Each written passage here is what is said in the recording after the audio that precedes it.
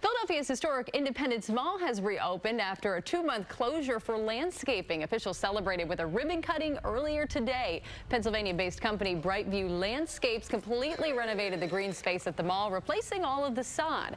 Brightview and its suppliers donated more than $300,000 to the project.